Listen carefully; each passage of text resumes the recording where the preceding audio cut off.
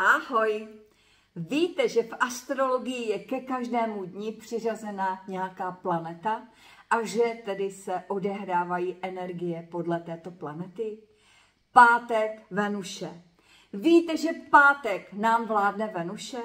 Že to je den lásky? Že to je den vhodný pro milování, pro lásku, pro setkání se s blížními?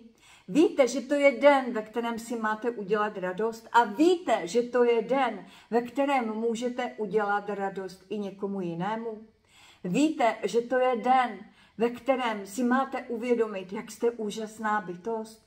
A víte, že to je den, ve kterém si můžete udělat lásky plný plán pro svůj osobní rozvoj, pro to, čeho byste mohli dosáhnout. A víte, že když je pátek a vládne nám Venuše, že to je výborné období na to, abyste si na sebe něco koupili, abyste si udělali romantický den, romantický oběd, romantickou večeři, abyste si dali to nejlepší kafe a třeba i výborné vínečko. Udělejte si krásný den. Krásný den sami se sebou anebo s tím, koho milujete. Pátek je den Venuše tak toho využijte.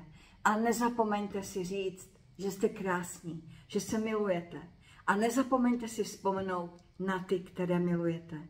Krásný pátek a jdeme na další den.